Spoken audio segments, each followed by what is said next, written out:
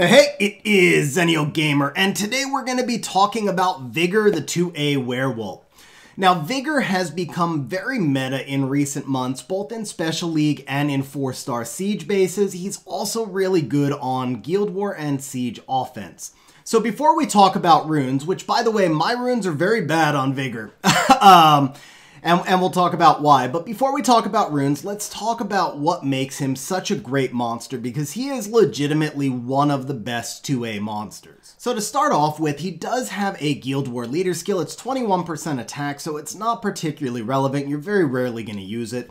But what makes him really special is with that 115 base speed, his skill 2, the Predator's Cry. Now this skill is going to give an AoE attack speed buff to all allies, which means that if he acts first, a lot of times he can boost your allies in front of the enemies. It also heals each ally by 20% each. Obviously doesn't benefit you on first turn, but does matter as the fight goes on. And then it's also going to reduce your allies' chances of being critical hit by 50%. Now, his skill 1 just has a heal block on it, but the damage does scale to his own maximum HP and his skill 3 has a 3-turn, huge 3-turn defense break, making him, as far as I can think of, the only 3-star monster, granted a 2A, but still the only 3-star monster that can provide a 3-turn defense break. That's one of the reasons why he is so meta in Special League, in the 4-star Special League right now. Now, in addition, this Per, uh, this skill 3, the Shred, is going to do damage scaling to his max HP, and the damage is legitimately pretty good. So you can see we've got him loaded here in the Optimizer. Now his skill 1 does 215% of attack plus 16% of HP, and keep in mind he's got 12,500 base HP, so that's huge scaling damage. But even bigger is his skill 3. Now, I know the multipliers look lower, but remember this is a 3-turn hit, so it's 160% of attack, plus 12% of HP, which is actually a massive damage dealing hit for an HP type or a bruiser type monster. And then you throw in the fact that he can add a defense break on that first hit if he's got some accuracy, and those next two hits are going to scale even harder. He can one shot, legitimately one shot monsters despite being a bruiser who also offers heal and speed buff. Now, before we move to, to runes, I think the last thing we should talk about with all 2As I'll be talking about this is whether or not it makes sense to Devilmon him, or to skill him up through fusions. So with a Nat 5, most Nat 5s really can't be used or can't be used as effectively if you don't skill them up. And then most Nat 4s you don't really want to waste Devils on, so you get their skill ups either through fusions or just over time. But the 2As fall somewhere in between. It's a lot of lost opportunities to go out and rune farm if you fuse them up, or it's, you know, in his case, it's, uh, what, three, four, six Devilmons. So six Devilmons is about half of your average Nat 5, or it's going to be 60 days, two months basically in Dimensional Hole to full, fully skill him up. So what about Vigor? Now, as a bruiser, I probably wouldn't say it's worth skilling him up on the basis of 20% damage on his skill 1. And then we look at the skill 2. He's adding 4% to his heal. That is actually useful, but once again, it's questionable as, as to whether or not it's worth a Devilmon. And then we get to the skill 3. Now, the skill 3 is his big damage dealing skill. He does legitimately really good damage with it, and that 10% damage buff could matter. It could be the difference between, for example, killing Ugaro or triggering the passive. The second skill up in here is 15% to the harmful effect rate. So that means that each of the three hits now has the 60% chance to defense break. But more important, it means the first hit has a 60% chance to defense break, which is what stacks that huge damage on the second and third hits. And then the last one is a kicker. It reduces his cool time. So for the skill 3 alone, each of these three things is totally worth a devil, which means that I absolutely would devil my vigor. So if you were to max out skill 3 completely, should you stop? I personally probably would.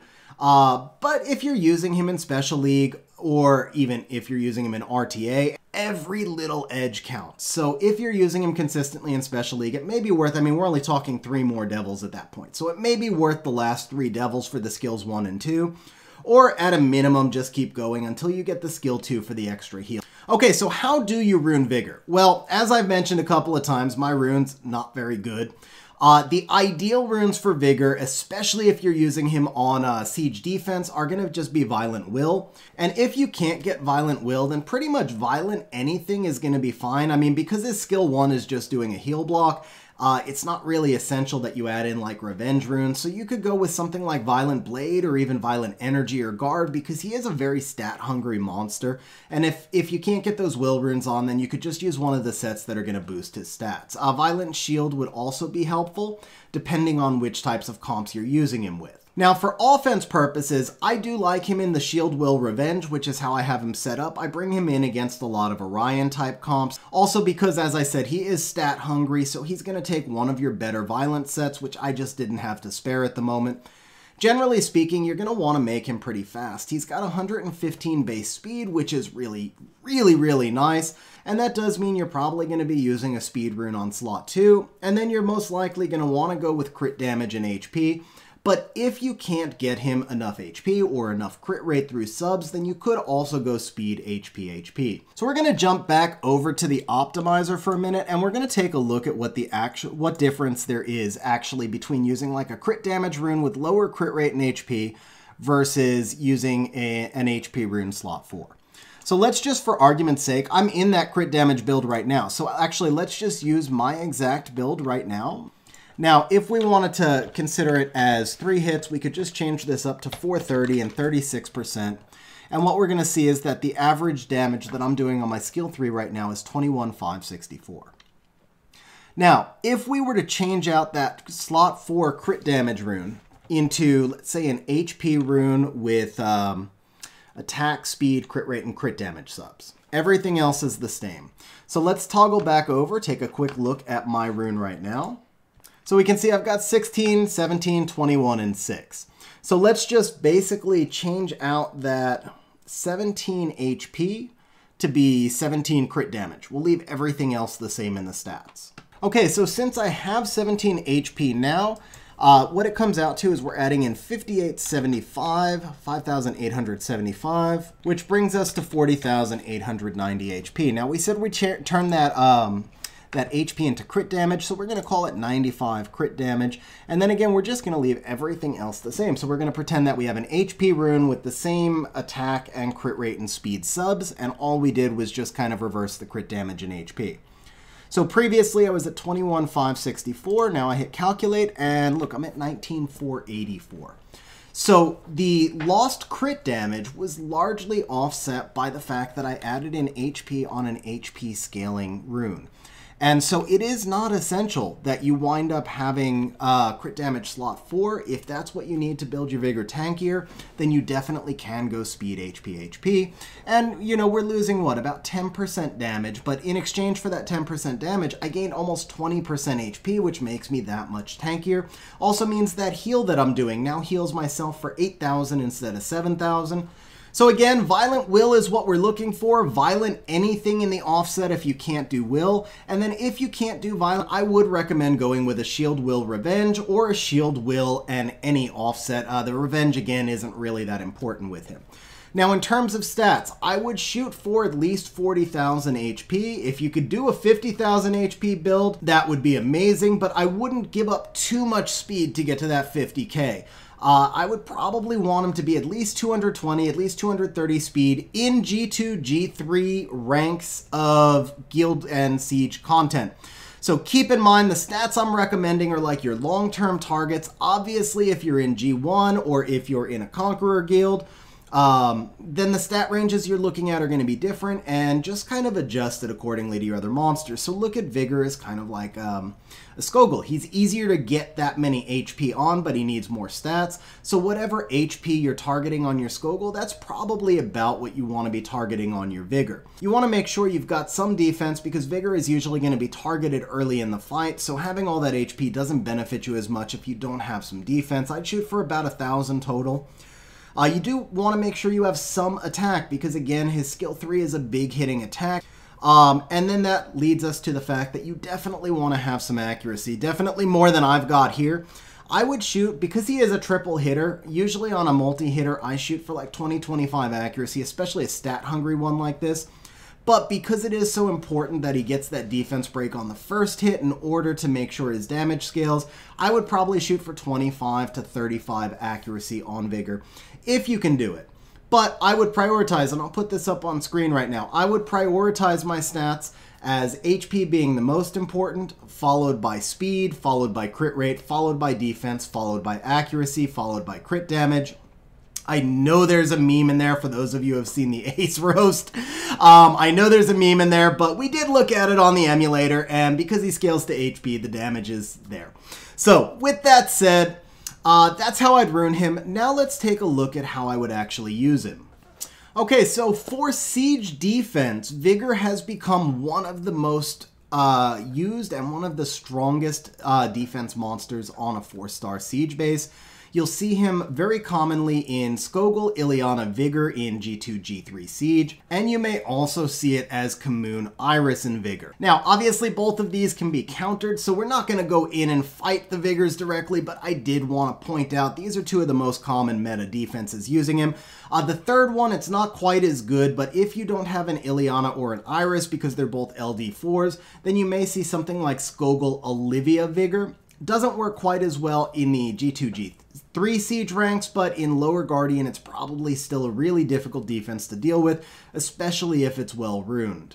Now, one of the primary uses for Vigor on offense is going to be to counter Garos, but remember that he's also going to serve as your primary tank. He's a healer, he reduces the crit that the entire team takes, and then he can take a beating. He's a bruiser.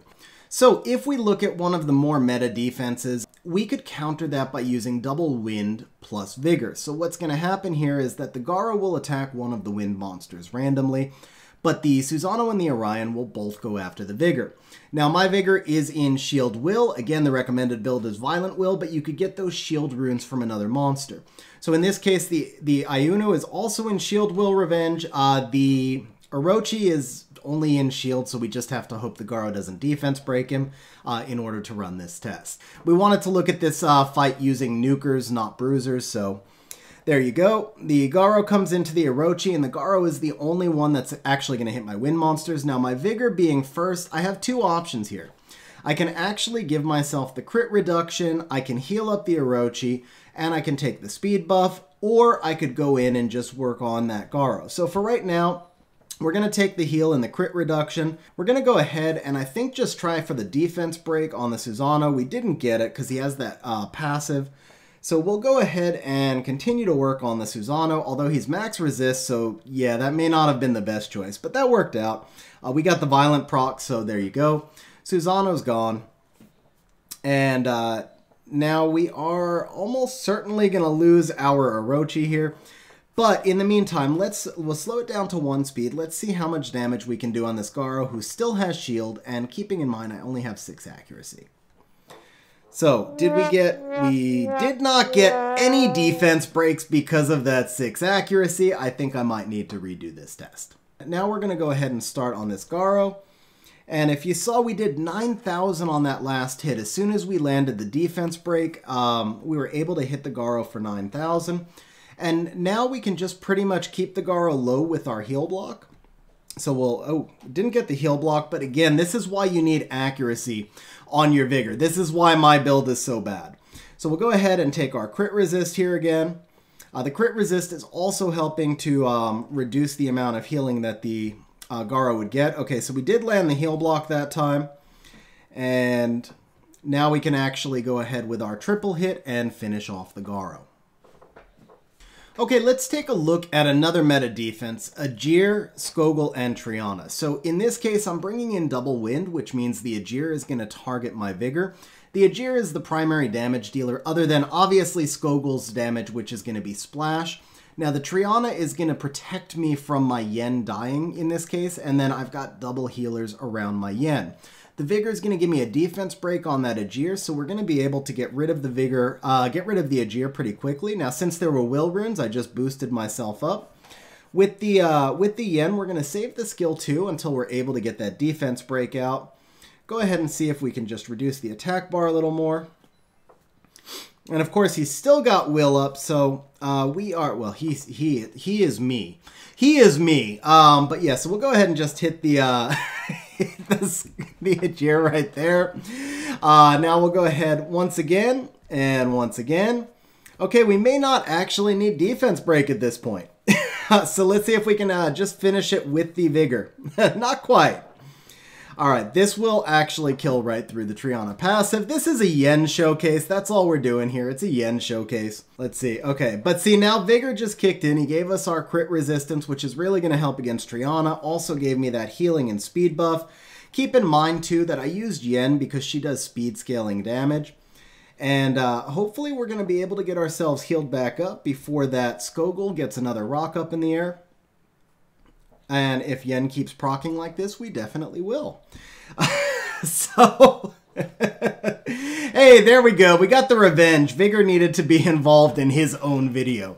Um, but okay, so joking aside, you guys can see though how this team does work because even though Vigor didn't wind up being needed to kill the Ajir, uh, the speed buff definitely boosted the damage for Yen. The healing actually helped me get back in time to um, to sustain, that second rock, and overall he provided some really important sustain. So that's it for today's video, guys. Overall, Vigor is probably at least an S tier to a monster. Maybe not an S tier monster overall, but if you're looking at it in the context of two, uh, four stars and two A's, he's at least S tier, possibly SS, somewhere in there. Uh, extremely powerful monster in Special League, extremely powerful monster on Siege and Guild War defense, and also pretty good on Siege and Guild War offense. So as always, guys, hope you enjoyed the video, hope you found it useful, and we'll see you next time. Hey guys, if you're still with me to this point, then that means that you probably liked the video, found it entertaining, or even better, both. So please smash the like button, hit the subscribe button, and leave a comment down below because those things help the channel grow, and more importantly, they show me that the video is useful, and that's the whole reason I do this in the first place.